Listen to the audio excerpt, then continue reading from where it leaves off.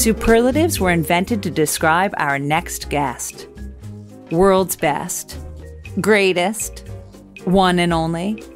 There is no list that he isn't on or has been number one. Today, we are in the presence of bartending royalty.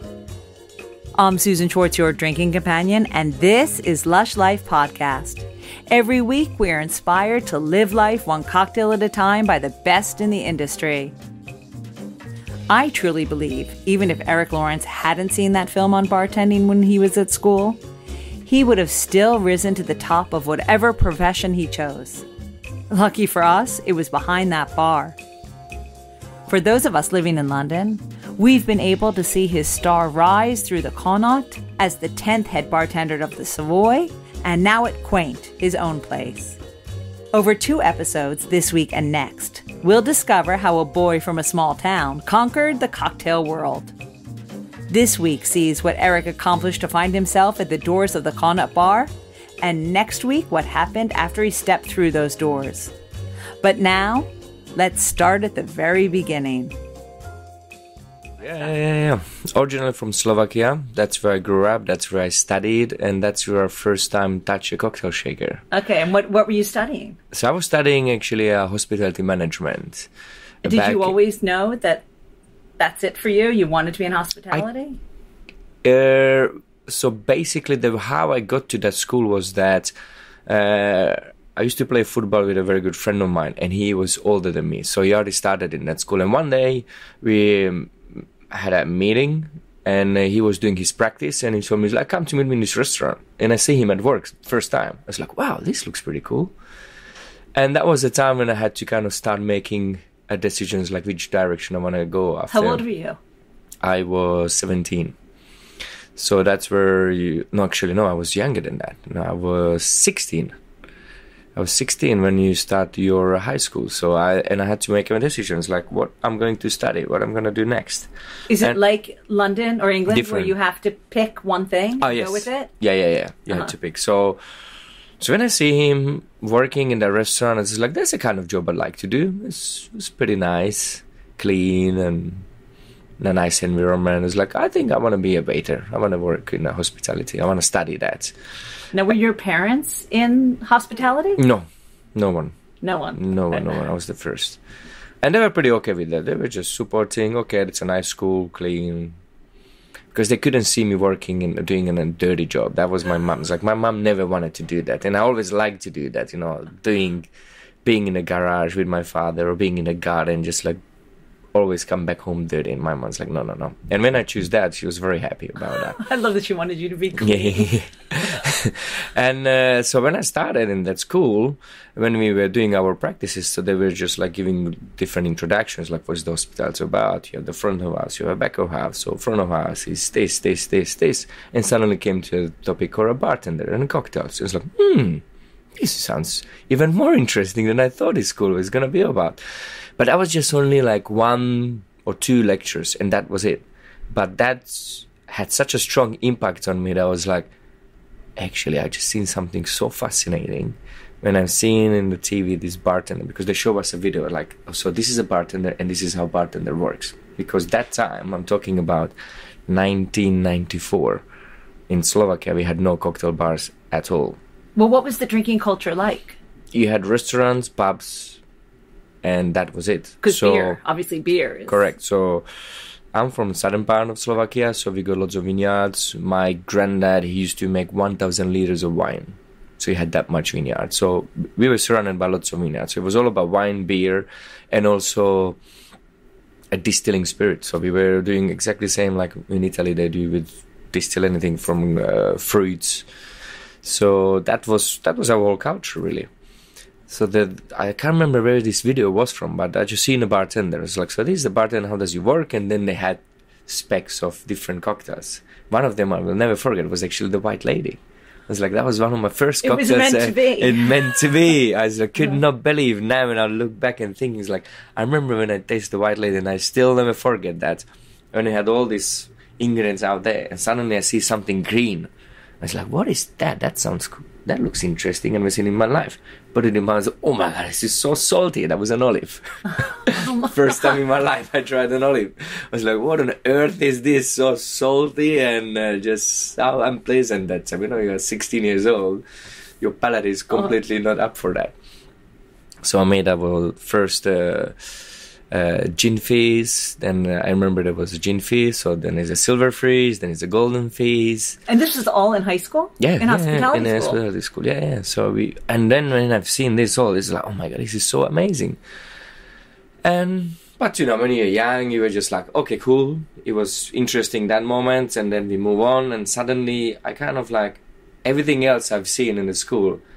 It didn't catch my attention. It wasn't that interesting. I like to do that. I did it. So I passed to the all my exams with distinction. All, all the teachers loved me because everything what I was doing, I did it so precisely and perfectly. But it was just like, okay, I have to do it right in order to pass. So I'm gonna do it. How about cooking? Same thing. I started a little bit getting more cooking. Oh yes, another thing of cooking was when uh, I was actually on my, during my studies that time. I decided to be a vegetarian, and my mom, you know, we are from countryside. We had everything at home, every day a meat, and my mom thought, okay, this is gonna be easy. I'm just gonna stop. I'm just gonna cook always meat. but I love your mom already. but I, I was like, that's not gonna be the easy one because I decided to do it in a week when we had a practice, and uh, so I was all week at uh, at the restaurant, and we had staff food. So every time I picked the vegetarian meal, and I was like, I'm been doing this for one week. There's no way I'm gonna go back. And she was just cooking meat, meat, meat. And it's like, okay, there's only one thing I have to do. I have to cook my own. So she let me cook my own food, and I will never forget those first dishes I was cooking. They were so awful. and she was just look watching me and like, there you go, so eat it. And I was forcing myself just to eat it to in order to like satisfy myself and show her that I can do it. So that was a little bit of cooking part, and back to the bartending, and then so I passed my schools. I went to uh, military service, and I came back. Like, so what I'm gonna do next?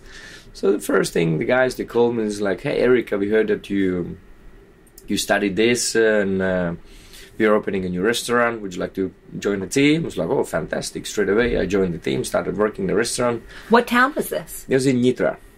Is how big is that? Nitra is about it's it's quite a well-known city because it has three universities, so it's very very popular uh, a city for students. About seventy thousand people. It's What kind of restaurant?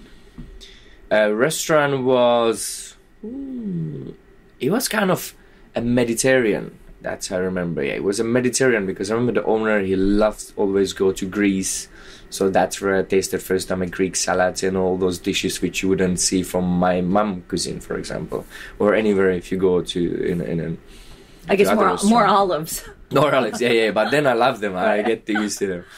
So, and then then I started doing that. I had a little injury because I was still playing football with, the, with my back, so I had to slow down. And then uh, another friend of mine called me saying, "Hey, I've got this pub, and I heard you got some problems with back, but I need a help, and you can take it very easy because the pub is just got quite busy, so I need some help." So I started working there. It was like an easy job. Would, did you always have in your mind the idea of being a bartender yet? so that time it was kind of disappeared and when i was in that pub i started strongly thinking it's like what i'm gonna do with my life i don't want to work in a freaking pub. I want to see the world. So i wanted to go to cruise line. So that was the thing i was always going in my head is like i want to go to cruise line. I want to see the world. I want to travel around the world. So i started looking around into it looking into it and all what i just found that we were you need to have a good english and my english was mm. zero. I was like okay that won't work. So what am i'm gonna do what am i'm gonna do? And suddenly a very good i was like a regular guest. He was working for seagram that time. And that pub it just became such a cool well-known pub because when it comes to beer after every single uh, keg when they finish the draft beer we clean the pipes. It's no matter how busy it was. The owner had this rules like once that's finished you need to clean the pipes in order to start a new beer. The cleanest pipes in Nitra. Big time like literally we had people there was i remember this guy he was coming and he was driving 12 kilometers just to come for beer and he said i'm a big beer lover and everywhere i go i never tasted such a good beer like you have here I was like, oh, really? It's like, yeah. And then I thought, oh, okay, so that's why. So that made me even more be like, okay, I need to follow this every time, make sure that the beer is super perfect. And then with the beer, this guy from Seagram, he started bringing different gins and whiskeys. And so oh, this, for a little pub, it was super exotic for us to see uh, Glenfiddich uh, or Glenlivet. Remember, that was a Glenlivet. We had a Seagram's gin and uh, a few other things. And then he brought this book, big magical black cocktail book. I opened it and I was like, wow, what is this? All like pictures of all the classic cocktails. How is it made? What does it contain? And little story behind it. Was like, this is it. I want to do this. And translated. Yeah, yeah, yeah. It was in Czech. yeah, it was yeah, in Czech Czech. language, so I could understand everything. So I was like, this is perfect. So I got into it. I start my first cocktail shaker. I remember he brought us a three pieces cocktail shaker, which got stuck the top with the the middle part. So- and that's the easy one to yeah. use. so we throw it away that one. So I ended up with the bottom part Uh. and my other part. So I turned it into a Boston shaker by using a pint glass. So I had a bottom of the cocktail, three pieces cocktail shaker and a pint glass because I've seen in the video guys using a Boston shakers, but I never seen it in real. So it's like, okay, that might work. Put it together, kind of worked. So I started making some drinks uh, from that book. well, I have a question about Hmm. wanting to travel. Yeah. You're in the middle of Europe. I mean, really Yeah. in the middle. Had Yeah. you visited, say, Vienna, which is somewhat close by, That or time, uh, any place like that? I never traveled that time. No. I was eager to go. Mm-hmm. The farthest I went, it was Croatia with my parents for a holiday, or Hungary. Nowhere else, or Prague. That was the max I went. Mm-hmm. And uh, actually, no, that time I didn't go to Prague. Uh, Prague I went after when one day I'm on, uh, I'm on a train with a friend of mine. He's a musician, so he was reading a Rolling Stones magazine. Let's just drop it on the seat. I pick it up and just like flipping through the pages and one page, a bartender with a cocktail shaker, two bottles, and pouring from behind his back into this cocktail shaker. I was like, oh my god, what is this? What is Was it an ad? So that was an ad for the final cocktail competition of the of the best Czech bartenders, organized by Beefeater. I was like, And that must have been really early for a cocktail competition. yeah, yeah. This was I tell you exactly when it was, 2000 or 1999. Yeah. I said, "Oh, I want to see this." So I took the details of that. I went to a travel agency and I told them, "So this event is happening in Prague. Could you organize me tickets, accommodation, and transport?" They sorted out everything for me. I went with a camcorder like this, massive piece of camcorder, and I go to this competition. And that was the first time I've seen bartenders in action. And were you still in Nitra at this time? So I was in that pub, yeah, Yeah. still, yeah. yeah. So you just must have gone back and for me it was you just know- like I couldn't breathe, nobody could talk to me, and we're just like filming, recording everything. Came home and I was just watching all over again that bartenders how they work, how they was like, doing a little bit of flair, making cocktails because the competition was very complex. That they had a different rounds. I was like, this is exactly what I want. This is what I want to do. Did you feel then that you knew That kind time- of the steps to get to what, how you wanted? Not exactly, wanted but I knew that this is what I want to do. okay. that was just like okay remember when i was thinking what i'm going to do in my life Mm-hmm. that was the moment it's like i know what i want to do in my life i just need to find out how i'm going to get there so i started doing research about bartending schools only what i found in slovakia was uh, com- the bar school organized by under iba so i contacted them and was like what kind of uh, trainings you providing and offering and uh, all what I found was just like very basics. But they were talking so highly that once you finish, you got an international certificate. I was like, what I got a certificate for when you teach me probably nothing. Because what I've seen, it was just very basic. We show you a video, it's like, I have video. I don't want to watch video, I want action. I want to touch the shaker, I want to know how to work with it and learn all the tricks. Because like, this is not what I want. And in that book, suddenly I just discovered on the last page of that big magical cocktail book, the Roman Ulish who wrote that book, he was actually having his own bartending school. So it was on the last page. So just took the number, phoned him up, and I said, Hello, my name is Erik. I want to bartender. I want to be bartender. I want to learn how to flare. Bang! He put the phone down. What's wrong? The F Maybe word. the F word, but not the naughty one, right, just the flare word. I was like, okay, let me try again because calling to Czech Republic, maybe this is the connection. Phone him straight away, and he goes, he was very straightforward. He's like, listen, I don't teach flair. I know how to show you, but I'm here to teach people how to make cocktails. So, hey, hey, hey, that's what I want, that's what I want. Okay, next month I start a three months course. So it's like, perfect. I mean, what do I need to do? He sent me all the details. I came back to the pub. I told the guys, like, guys, I'm leaving. I'm going to Prague learning about bartending. Oh, so the owner said, yeah, yeah, yeah, okay, fine, fine, fine. I was like, but I'm resigning. I was like, what do you mean? It's like, it's for three months. What kind of three months? It's like, yeah, it's a proper school for Monday to Friday for three months. You know, I need to resign. I need to go there. Took all my savings. I went, hair like this, up to my shoulder. First day at school, uh, in, uh, in uh, How many people were in the school?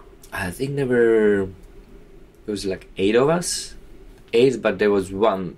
As I said, he was very straightforward, and he've seen. Uh, so there was one company they sent four employees there, and uh, after two or three weeks, he phoned the company saying, three of guys who you send they can stay, but the fourth.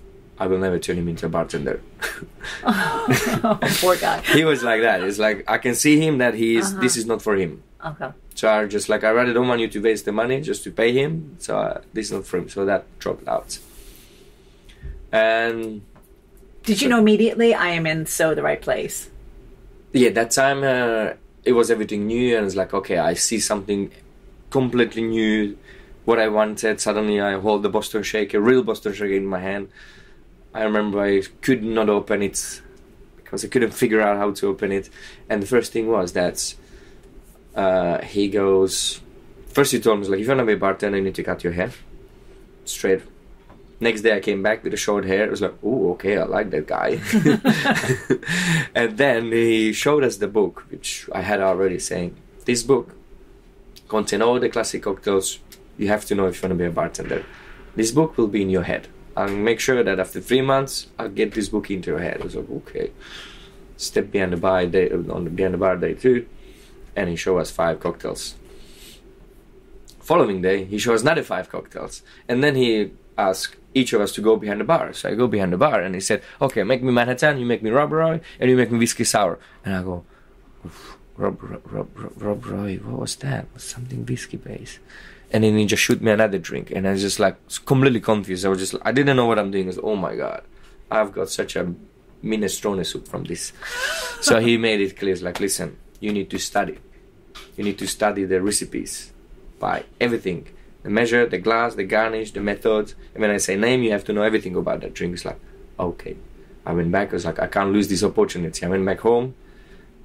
I was waking up with the school with the book, and I was going to sleep with the book. And I was reading it all over, all over, all over again. And after a couple of weeks, he's seeing like, okay, this guy is taking it really seriously. So it's like, okay, I've got a, I've got a job for you because I've got also agency. So I'm doing like catering, like cocktail caterings, and you can come with me. It's like, okay, perfect. So it works for me, so I can see some action. It was a bit school because I've seen him how he interact with people. I see how he work. I see how he was. And I remember my first event with him. Obviously, first time doing it. So I just like, he goes, Erik, give me some ice.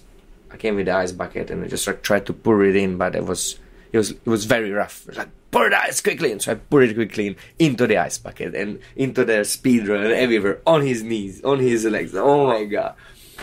And it's like Erik, pass me a grapefruit juice. So pass him orange juice. He made a drink. What are you doing? Pass him back. I gave him a sugar. The sugar drops down and made so much mess. So what he did next day? He did a complete debrief in front of everyone. So guys, so just to let you know, yesterday Erik came with me for this event. And then he just went on and on and on, and I was just like, "Oh my god!" So I was just like, I was a big laugh for the guys.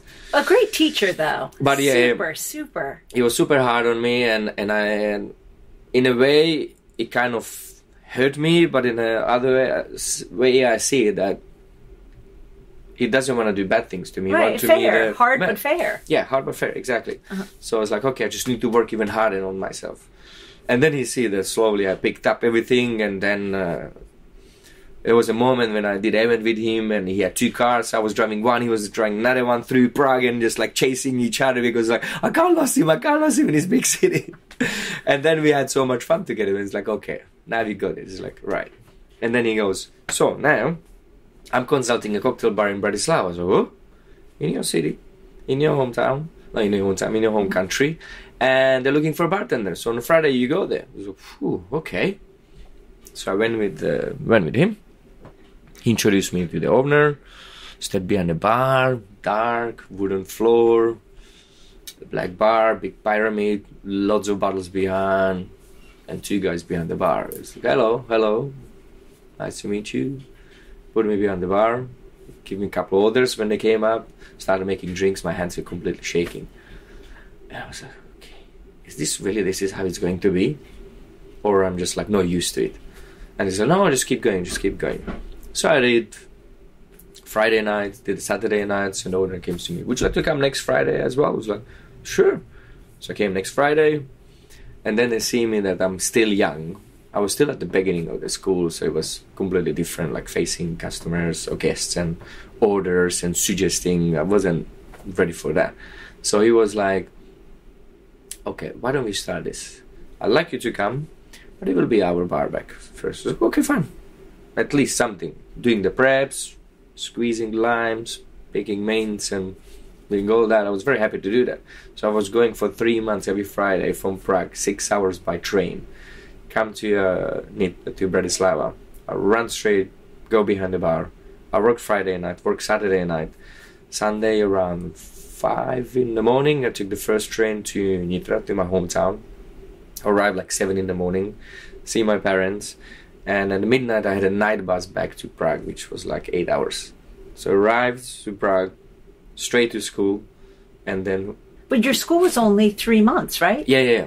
So I was doing Oh, it for boy. three Oh, months, boy. all around, all around. And after when I finished the school, I passed all the exams as I had to, so I was very happy. I was very happy with because I've learned everything. It was good that I was always working during the weekend, and uh, plus with him, so I passed the exams. He was very happy with that, and then. Uh, uh, the, the owner of the Greenwich, he just offered me a job. He's like, so you finish your school, you can start working. He was like, with a pleasure. And what was Bratislava like then? At that time, it was the cocktail scene did not exist either. So that was the first cocktail bar which introduced the mojito, which introduced the dry martini, the Negroni, the Mai Tai. How long had it been in existence before you started working there? A three months, two months. So, So it was very early, new. It was very yeah. new. So when I started in, I started I think in October. They opened in November, and I joined them in December. So because he opened, I remember the owner. He opened it on his birthday, and his birthday is in November, and I joined them just right after Christmas. And Greenwich. It was called Greenwich. Greenwich, Greenwich Cocktail Bar. Do you think because of the links to Greenwich Village or yeah. Greenwich, England? No, Greenwich Village because our logo was basically a, a big clock or watch, and it says Greenwich Cocktail Bar. And when you walk into the bar, you had Greenwich time on the wall. You had a Bratislava time on another part of the wall with a big clock, and then you had New York time, Tokyo time, and that was just a kind of theme to it to make it more like a because we wanted to do uh, uh, cocktails and the owner he was working with one designer and he thought cocktail is very uh, american versus uh, english british so they kind of found the link between that so bring some kind of british style It was so your thing. You must have been so excited. I was because for me it was like, oh my god. But the thing was that when we started in that bar, that was the only one first cocktail bar in town. And when people came in and they just like, this is amazing. They told to their friends. They came. And Did they know what to order? I mean, or should I At the say, beginning- what, what kind of thing did at they the order beginning, at the beginning, no, they were just all curious to try different things, and then lots of people realized that they really loved rum. So we were very big uh, on rum, rum cocktails like Mai Tai, mojito. We were doing like hundreds of mojitos a day, and that's become just like a hub of rich and famous. All the celebrities. I remember when uh, Slovakia won World Cup in ice hockey. The hockey players straight from this uh, from the airport, they came to us.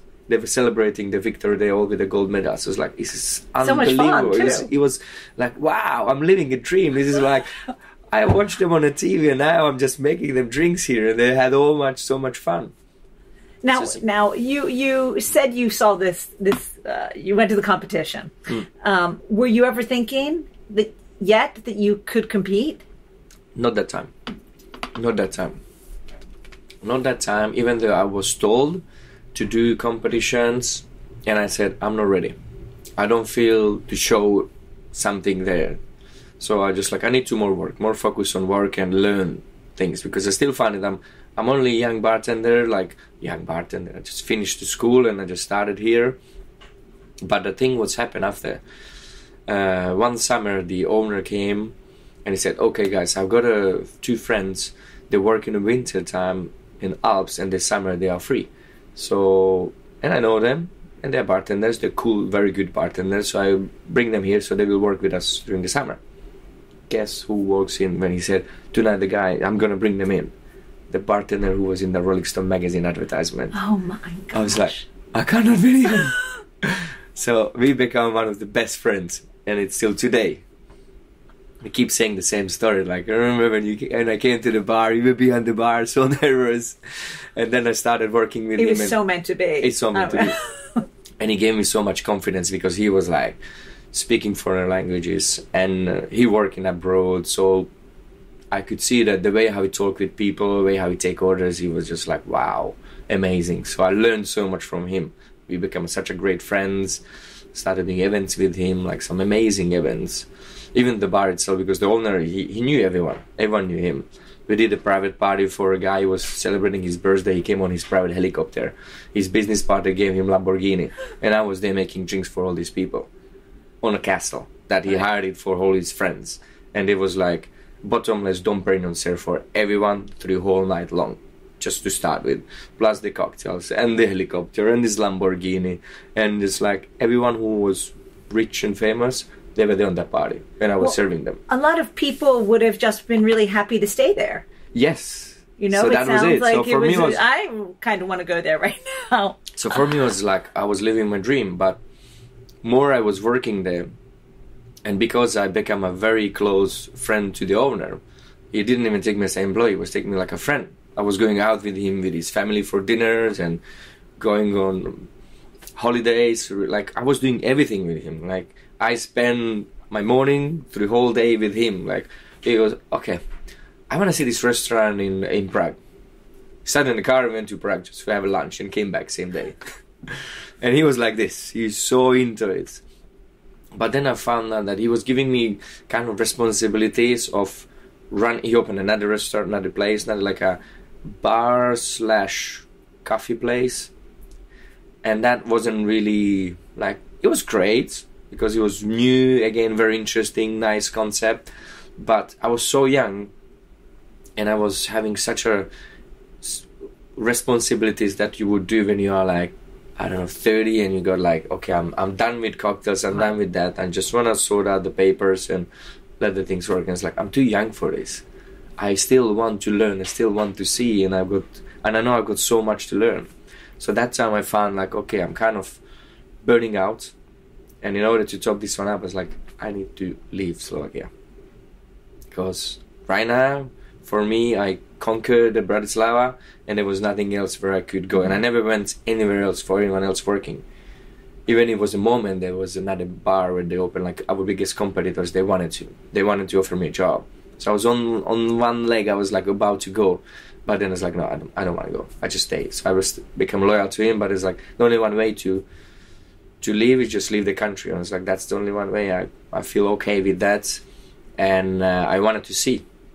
And the first thing was then I started doing more and more research about bartending and everything came out in English. And a good friend of mine, Stan Vadrna, he already was like traveling here and there and he was coming back from London quite often. And he was telling me about this bar and that bar and this book and he could speak pretty well English. It's like, damn, okay, I need this. I need to get this done. It's like, I can't learn English here. I need to learn English in English speaking country. So I was making a decision between US, Australia, or UK. UK was the last because it was the weather. I got nothing exciting about UK. It was like I found New York or Sydney. Even though he was telling you that the bars were so cool mm, and all that. Still not. I don't know because hmm. I, I was when I seen any pictures about Australia or New York, it was more fascinating. Yeah. And New York is about London, I didn't see anything wow, for some reason. But I got like a guest came into the bars like, oh, I've got this bar I've been to. It's the longest bar in in, in the world. It's called the Long Bar, and it's in London. So okay, Long Bar. Wait, now what year was this about? This was 2002, uh, 2003. Okay. So it was just starting the Yeah, yeah, kind yeah, of yeah, cocktail culture. Yeah, so I was Yeah, Sanderson Long Bar. yeah. One of the, you know, first. So I said, okay, I think I need to go. So our second bar was right next to a travel agency. I went to the travel agency. It's like, okay. It's you again. yeah, yeah. It's like, it's like uh, what kind of uh, language schools you offering? So they gave me a brochure, and there was like, we do this, we do that, we do that, and I looked at the prices, like, okay, Australia pretty costly, very far away, visa very difficult. US exactly the same. I was like, okay, London is kind of manageable, but again the visa, and. Uh, as was the bar was a travel agency and next to that was the british embassy. And those guys they were always coming to the bar. And suddenly one day they said like oh by the way it's like what's what's the situation with the visas? Like oh it's not official yet but from next week uh, slovakia's visa will be cancelled for for uk you can free travel without visa. I was like really? It's like Oh, the best timing. decision made went back to the agency Okay, like, next okay. week, book it. okay, I'm gonna go. It was 2004, January. I booked my language school for six months in London. I paid in cash. So you're doing Slovakia at that time, so they gave me a free uh, free ticket to to London by bus. I was like, okay, saving some Oh money. God. I do that. Obviously, bus broke down halfway through. It took me two days to come to was London. the longest bus ride ever. But when I was resigning, when I was selling to the owner, to Carol, Carol Sass, it's like, Carol, I made my decision. I want to learn English and I want to go to London. No, what do you mean? Uh, How do I? How is, it's like, yeah, I'm resigning and I'm leaving in January and I want and I want to learn. So he was super upset with me. He didn't talk with me for two days. So then after two days, he's like, still not friend. Uh, can you just extend for a few more weeks? I was like, okay. So extend a few more weeks. So I think I came in February. So which means next month will be uh, what 2020, 16 years I'm here. So I left in February.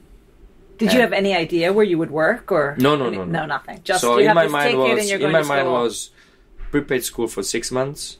a paid accommodation with the family for one month. I was like, this is good for a start, and then we'll see how it goes. So I came here and uh, went to a school. That was a language school in Camden Town, TTI. Very good school. Learn a lot. Mark was amazing teacher.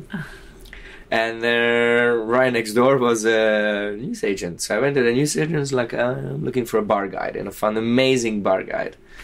And nice pictures, address, what is the bar about? Couldn't understand because it was all in English, but at least I see the pictures and address. So what I started doing with this bar guide, every Friday after school, I just went out. I just went to one bar, two bar, third bar. Just sat on a bar as a customer or a guest. Had a drink, looked around, cool. I remember I went to what was the lab? I went to Townhouse. That was the two like famous bars, and then some.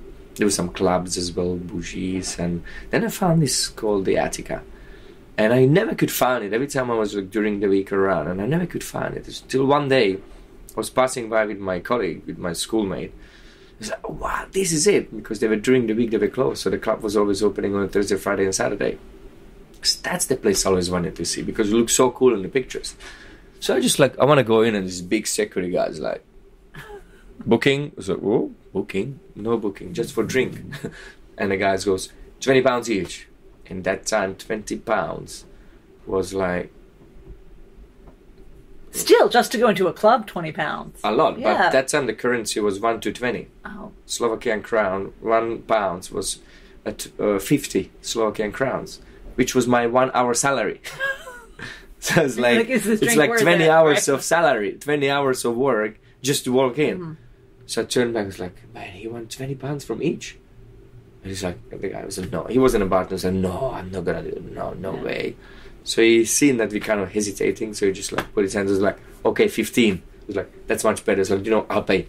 I'll pay him. I gave him thirty pounds. We walked in, walked into this amazing club. I was like, wow, this looks so cool. First time in a proper real club, massive onyx bar, six stations, six bartenders behind. It's like, wow, this is something amazing.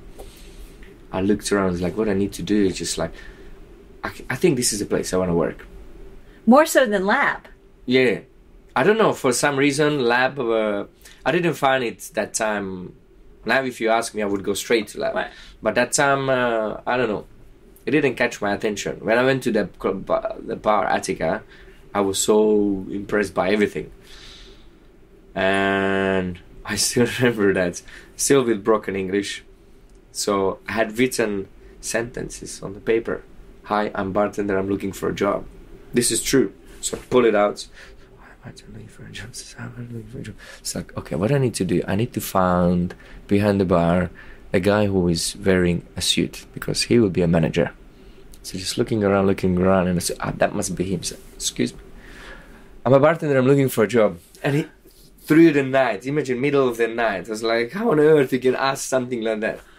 Like today, if someone would ask me, it's like, there's a door, here's the menu, you can have a drink, or there's a door. That's it. I ask him, and he says like, come tomorrow eight o'clock. Did he say eight o'clock tomorrow? I show up tomorrow eight o'clock. Just like very black. I showed up, and is like, okay, super exciting. Oh I might get a job here. And I got in, and there was this guy called Xim from Kosovo. I said, you knew? He's like, yes. Okay, take this, polish that, bring that, take that. So I started doing what he was telling me. I was like, okay, fine. I started doing what I have to do. What happened was, the guy asked the manager, he went on a holiday on that day, following day, and he never handed over anything about me. So the assistant manager, Llewellyn, South African guy, suddenly just like keeps staring at me, and it's like, why is that guy keep staring at me? So after a couple of minutes, he comes like, "Hey, you!" Just point out his finger, like, "Come with me." And we're going out from the bar, through the long corridor into the fire exit. I was like, "He's what, does he want to stab me here? What's going on?" And with his South African accent, he just went on me. Who are you? What are you doing? How'd you get here? But as he was asking, I couldn't understand a word from him. I was like, what on earth he asking? I don't even what language he's speaking. So I just looking at him. So he goes like, Have you worked in a bar? So, yeah, yeah, yeah. You know what to do? Yeah, yeah, go back. That You know, it. fun. I interview a lot of Italians. And Yeah, of yeah, course, yeah. there's so many Italian bartenders and people in hospitality that they have no problem coming and Mm. Finding someplace to work because everyone speaks. Italian. But it's not This as one. if Not you know you check. It's like oh, super. Like, okay, what So else? What's gonna be next? What's gonna be next? So I started. So started. Uh, the role was the lowest of the lowest position you can have, busboy, because I couldn't even properly speak English, and he realized that like, there's you. no. I guess you were okay with that. super happy. It's like. I've got a job. So then he asked me, he's like, okay, you're good. Bring me your passport. I'll bring your passport. He's like, do you have visa? And I said, no. Another one. and he just laughed at me. He was like, what? But like, I don't have work visa, but I think I can do it as a student couple hours. So that kind of fit. Because the bar was open only Thursday, Friday, Saturday. So it was like that didn't break the, the amount of hours I wasn't able to do. It's like, okay, fine signed a contract, and I started. During the day, I was going to language school, came home, prepared some dinner, had some relax, and I went to the club. Always the shift started, I think, at 8.30. Club closed at 3. By the time we finished was 5. Get home 5.30, 6. 10 o'clock morning back at school. How after- long? So I found this job on second month I was here. And my school was for six months. So for four months you did this. At the beginning, I was okay, mm-hmm. but the bars got sometimes got busier weeks, so we were open more. So I was working more hours, and I remember there was towards the and I was just like falling asleep in the hours on the on the, on the lessons. How long were you there before you got to do proper bartending? So on the floor, I started. I think I was like six months just on the floor. After six months, he put me behind the bar. So it's like, okay, this is much better. And then I just kind of started looking like, what's the bartenders like? What they do? How much they know about what they do? So I started asking questions. I pick up Southern Comfort. It's like, what is this? And he just picked it up. He's like, oh, it's kind of liquor from America. I'm like, okay. He didn't tell me a lot. And you have these like 500 cocktails in your head. I knew already, everything. right? You know I just couldn't express myself. so I just, uh, I was just doing a little help. Sometimes just like touch the shaker, did a little grief here and there. I was like, oh, you worked as a bartender before? I was like, yeah, yeah, yeah. I remember, I think one day was one of the bartenders got sick or something. So they put me on a verse station on this long Onyx six stations bar. And verse by mean that there was a column right in the middle of the station. And there was just like mirrors around. So when I was standing on my station, I was staring at myself in a mirror. And I had a guest from my left hand side and on my right hand side. It's only two people. That's all I could serve. So that was like a slowest, mm-hmm. more most boring station. But I was like, it's my first shift, so they couldn't put me anywhere else. But I said, it's not gonna stop me. And I remember they put me there. I did a good job. I did another good job. So that's become kind of my station until one day we had a party, and each of us had our own micers, work on his own cards, so each has our own reports. And this party was amazing. That I made so much fun with these guys, contacts, and I was just selling them bottles of champagne. And as the manager was going through each tills at the end of the night, he was doing reports. And there was a, we had a section called the point, and that was the most skilled bartender was working, the head bartender. And then was the the mirror station, which was the most boring one. And as he report, he prints out all the reports, and he look, what are you doing on point? Look at him. I'd made five thousand pound sales on that. He made three thousand pounds on the busiest one. I was like, how is this possible? What did you do? He was like, serving. So the manager, what he did is like, okay, next Friday you on point. He's like, oh my god, I'm on a point. So he put me on a point. But I says like, okay, this opportunity show. So I was on a point, and I was just like, this is my night. So I just did the best night. I did the best sales. I was super happy, and then I never left. That became my station. So the head bartender was kicked out by the bartender. Then he realized, like, okay, maybe it's a time to change, time to move. Oh, And then You don't want the bad feelings there the but whole was time. like, but- that wasn't my decision. Uh-huh. He told me to do that, and I just did it. But they were okay with that. And then it's like, so did you work as a bartender? It's like, yeah. and then I started telling them the stories. Like, really, you did this, you did that. It's like, yeah. So then, kind of, I earned my At that point at Attica, were you able or were you even thinking about, say, creativity, or were you just cranking out the cocktails? Just, That was just like the few signature cocktails and lots of vodka Red Bulls, lots of rum and coke, and I tried to bring the cocktails in. And then, um, then a year later, a very good friend of mine from Slovakia, Marian Beke, calls me. He's like, "Hey Erik, I'm coming to London." And the first thing, you got a job? No. Okay. So I went to Llewellyn. The bar manager said, Llewellyn, do you need another guy? Yeah, yeah, yeah, of course. Bring, bring, bring, bring. So I was bringing him all the guys I need. So Marian became a our team member. So and he'd seen him like, okay, he's one of yours. It's like, yeah, yeah, he's very good. So as soon as he learned English, he became our sub bartender. Mm. So we ran the bar, the whole show together. And then we realized, like, okay, this is not for us anymore. It's a nightclub. We wanted to do cocktails, and there were like 10 people enjoy the cocktails, and the rest were just like, give me a bottle of vodka, a bottle of whiskey, a bottle of champagne. So what happened was, But by that time, you must have known what London held as far as cocktails and bars. that's how I started discovering it. Yes, that's right. So that was the first kind of thing like, okay, something going on here that uh, it make me stay. I don't want to go back home because the plan was come here for six months because that's what I told my owners. Like six months, I'll stay here and then I come back. I learn English and I come back. But then I realized like, hold on a second, I've got more opportunities here. And then I discovered there is like a another bar and another bar and another ingredients. That was another thing. Like I've started discovering ingredients that I never came across back in Slovakia. Like when I was in Slovakia, we had to bring a mint from Vienna. People didn't have mint there that time. When we start, we were making mojito. We had to go to Vienna to buy mints and to Prague to buy limes. so for us, was uh, all those things were super exotic, and all the ingredients which I've seen here, super standard over there, was like Peychaud's bitters, first time here. And then I was like, okay, this is kind of a cool thing. So then I discovered the Class magazine. I started reading about that. And then I started, okay, there's some kind of competitions. Do you remember any of the bars that really influenced you at that time? Hmm. At bars, uh, really going. Uh, so with Marian, we always uh, kind of touring around. and I think the big one was when the Montgomery place opened. So I knew, I at that time we had the that was the Drink Boy chat. Mm-hmm. Uh, Ted, Ted Hess, I think it was like. So they were set up the Drink Boy chat. So I was on it reading resources, and I remember Nidal Ramini was sourcing for Cupid glasses for his Montgomery Place bar. It's like Montgomery Place, okay, Cupid, and I was like, that's something very different. And I searched about this Montgomery Place, and it's like, okay, this was like a very cool bar. So I told Marian, I was like, Marian, let's go have a look at this Montgomery Place. There's a new bar in Notting Hill. So we went. Ah, and before Montgomery Place, yeah, there was uh, Lonsdale. That was the one. Right. That was the one with uh, rest in peace uh, Henry Besant. And when he opened that, we went there. It was like, wow, this is amazing. That was the. Then we started going out for cocktails, and then we discovered you go to hotel bars as well. So when every time when one of us has a birthday, we did these little rituals. Like so, we went to Ritz, had a martini, or we went to Savoy, had a white lady, and so on, going around.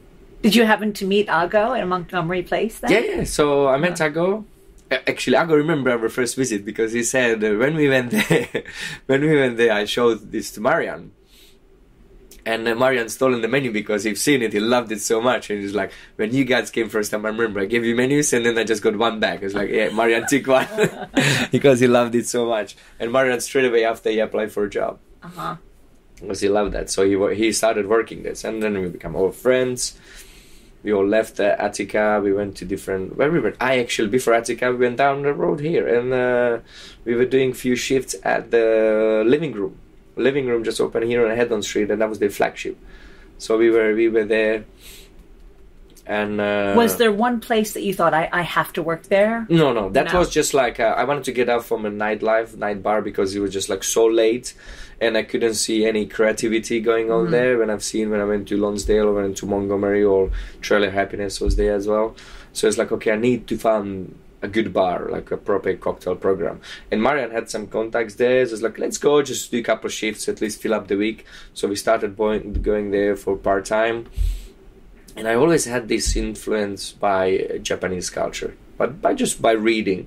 And then I discovered here the amazing Japanese restaurant. So I, I first time tried sushi here, and I was like, this is so pure, beautiful, and everything just makes so sense about that culture.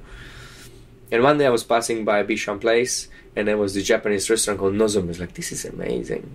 I really would love to work here one day. And what happened was that that restaurant was set up by the same owner who used to have the club at the beginning. So I had some contacts there because the general manager moved and uh, and they, he introduced me to people. Just like they're looking for some bartender, go and have a look. So I went. They put me behind the bar and it was like okay. For that was like serious cocktail program using sake in cocktails, using fresh fruits in cocktails, using homemade ingredients, lot from the uh, Japanese cuisine. I was like, this is exactly I would love to work and such a nice environment, great place, great location. So I did the trial shift. General manager didn't like me, but the bar manager liked me. So the bar manager after the shift said, "You got a job." And I remember it's like so he called me back. So I, I remember I'm eating, I'm having uh, lunch on uh, before a shift the following day, and the general manager see me there. It's like, and he says so loud to the bar manager, "What is he doing here?" I was like, "Oh my god, what I Oh no. So he called me on the side. They're having a chat. He came back. It's like, don't worry, you, you stay. And I felt so awkward. It's like, okay, it's, the air is not so clear here. But I was like, okay, I just do my best. So I went behind the bar, and he said that uh, he asked me to make something. I can't remember what drink was that. Some kind of drink. So I made the drink. I passed it on to him. There's a bar manager called Fassi. He tasted it. I was like, wow, I never tasted such a balanced cocktail. There's no way you're not gonna you you. Uh, there's no way that you you will uh, you will stay here. So you you won't go. You won't. Uh, you will stay here for sure. It's no matter. So he backed me up, and then we become friends, and it was cool. So I was two years there, and again, so it was like, okay, I worked in a night bar, I cooked in mm, cocktail bar, I worked in a restaurant bar, worked in a nightclub. What I would like to work at, it's it's it's a hotel bar because here the hotel bars they are so well known they are for, so frequently visited by people who are not residents and that time was when we with marian we were going around hotel bars and we kind of think it's like you think this is the job you want to work because when you looked around that time in the hotel bars they were all like very older people and very old schools like we are so young by mind but we might get so old by just being here. So it's like this is not what we want probably to do. But uh, so I came across. Uh, actually, no, Marian introduced me to Giuseppe Gallo. Because Giuseppe Gallo used to live in Westbourne Grove, and he was his regular at Montgomery Place, and he was looking for a bartender, and he was a supervisor of the of the uh, Purple Bar at the Sanderson Hotel. And that time already, I made my first trip to Japan. I discovered Japan, bars there, bartenders, how they work in tiny little bars, cutting the ice and making the perfect martinis. Like everything was just wow, wow, wow, wow. This is what I really wanted to see. And then uh, Marian goes like, "Hey, you should meet Giuseppe. He's looking for a bartender in this uh, hotel." Because I told him like, "Okay, I, I got enough of the restaurant because it started turning into almost like a party bar, and I've got enough of that." So I met up with Giuseppe. I show up on an interview, and I still remember he was saying, it's like, the way how you carry yourself on an interview is like, this was the guy I was looking for, perfectly dressed. And when I went to bar show, I watched you there. You were recording everything, making notes about everything. I was like, this is what I want to tell in my team. So I did my interview. And when I when he showed me first time the purple bar, I was like, wow, this is exactly the bar I could kind of try to do the things, implement the things I've seen in Japan because I brought the ice block. I remember first time I called Eskimo. I think this was 2004. No, 2005, 6. I called Eskimo company that want ice block because I've seen ice block using in Japan. They, they had no idea what I want. Probably today they bought a private island, the amount of ice blocks they sold. And I said, I just want a plain block of ice. I was like, what do you mean? Why do we do statues? Like, yeah, yeah, things where you do statues from, butterflies, whatever. Just do me the plain block of ice. And they costed like 150 pounds. It's like, come on, it's just a frozen water. Do me a better price. So I managed to negotiate a proper price. So they brought me a block of ice. So and the Nozomi was the first, probably the first bar in England that had uh, ice block served uh, drinks on a ice uh, crystal clear ice cube. And then uh, I was like, I cannot do it here. It's too messy. People didn't much care about it. And uh, when I came to the purple bar, it's like this is a perfect bar. It's calm, small, just like those Japanese bars. I was like, okay, I want to work here. So obviously, passed through all the interviews with Giuseppe, and Giuseppe was like, okay, first time I'm working with someone who's really into that. He drives the bar it was a vodka bar. So we had like 150 vodkas, but it's like, but lots of time people came in and they just they didn't want to drink vodka. So me and him we built the whole entire back bar that we created a nice category of rums, of whiskies, of gins, mm-hmm. and we turned it into like a secretly another bar because the main concept was vodka bar. That's how it was known. But under the vodkas, we I built shelves made of uh, uh, champagne boxes where I put all these bottles out so we could do other cocktails as well rather than just non-stop vodka drinks. And how did you feel working in a hotel? It was great. So it was uh, again, so it was like a new experience. It was like I love that. It was amazing. But then shortly I discovered that that place has been there now already like eight years, and now again it was like a it meant to be because I ended up working in a bar, which the guest told me back in Slovakia long bar. Wrote one of the longest bar, and I was like, I had it all written down, and now I'm working here. I was just in other bar. It was like amazing. So then I kind of started having an idea where I want to work. It's like, okay, where I want to work is, I want to work in a, a bar where I will be part of the opening team. Because till today, every time I was working somewhere, it was I just jump on the running train, whether it was going fast or slow. And this was like they made a concept, and I just had to follow it was either good or not as good. And I was like, I want to be a part of a team where I come in with a team of people who are equally into it as I am, and then we create something, and this will be our concept. And that doesn't happen very often, right? But when I've got something in my mind, I just follow and I just don't stop. So, so how long did it take to find not that? too long because what happened was we were just kind of uh, debating with one of the bartenders from the Long Bar, Ricardo Semeria, and he goes like, "Hey, uh, you heard that the Connaught Bar is reopening and they're looking for staff?" I was like, "What?" Connaught, Connaught Hotel, is one in the Mayfair. It's like, yeah, yeah, yeah, I just went and did my interview. So can you pass me the contact? So he passed me a contact to Santino Ciceri. It's like, hey, Santino, I got your contact from Ricardo, and I'm uh, I'm looking for a bar job opportunity. Maybe we can have a chat. And I'll never forget when I had the first meeting with him. He was like, "So Erik, tell me why are you chasing me?" Still remember, like, why are you chasing me? It's like you know, I'm I worked here, I worked there, I worked there. What I'm and I was very honest. It's like I had other pictures. Like what I'm looking for, I want a part of the team where everyone is very into it. We can create something new together. And he was just listening, listening, listening. I was like, okay, it's the things I like about this guy. I was like, okay, so what's the deal? Who works here? Who will be in the team? And then he said, I can see you're pretty serious about this job.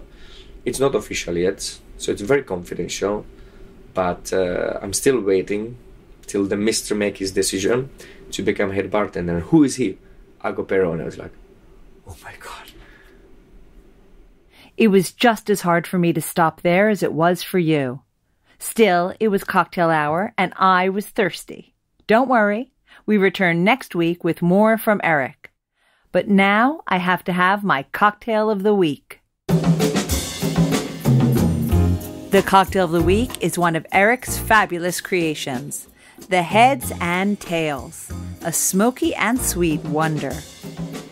Add all of the following ingredients to a mixing glass 25 mLs of Vida Mezcal, 25 mLs of beer muth, Google that, 3 drops of Peychaud's bitters, and 10 mLs of agave nectar. Stir and then strain into a glass. Then top with genmaicha soda and garnish with crispy Cavolo Nero. You'll find this recipe, more Mezcal recipes, and all the cocktails of the week at a lushlifemanual.com, where you'll also find all the ingredients in our shop.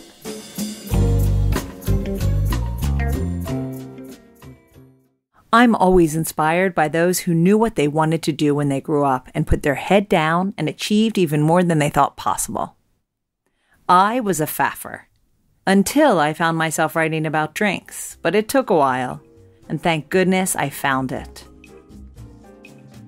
If you live for Lush Life, would you consider supporting us by buying us a coffee? Just go to buymeacoffee.com slash lushlife and you can donate once or monthly to make sure we are still here every Tuesday. Theme music for Lush Life is by Steven Shapiro and used with permission. And Lush Life is always and will be forever produced by Evo Terra and Simpler Media Productions. Which leaves me to say the wise words of Oscar Wilde all things in moderation, including moderation, and always drink responsibly. Okay, the second part was mine. So, Next time on Lush Life, we return to speak with Erik Lorincz as he is about to step into the Connaught Hotel and change it from the sleepy bar it was to the best bar in the world. Until that time, bottoms up.